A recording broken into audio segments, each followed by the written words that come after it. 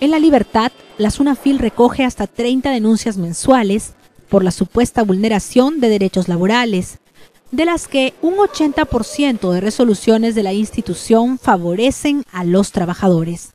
Bien, bueno, nosotros tenemos un importante número de expedientes sancionadores eh, en trámite.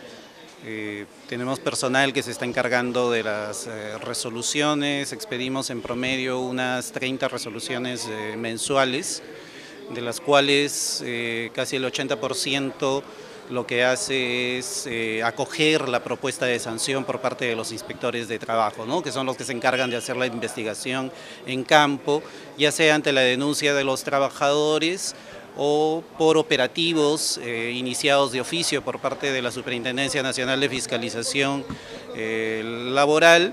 En lo que va del año, 40 organizaciones del sector público y privado fueron sancionadas. El representante de la Superintendencia Nacional de Fiscalización Laboral precisó que la mayoría de casos corresponde a formalización laboral.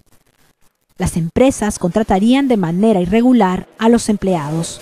Entonces los operativos que tiene proyectados eh, Sunafil para todo el año, eh, un 60% están destinados a ver el tema de formalización laboral, es decir, verificar que los trabajadores estén incluidos en planillas.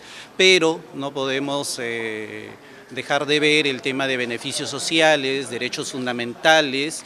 Óscar Moreno Rubiños también informó que los inspectores de Sunafil, La Libertad, vienen actuando de oficio para erradicar este y otro tipo de ilícitos.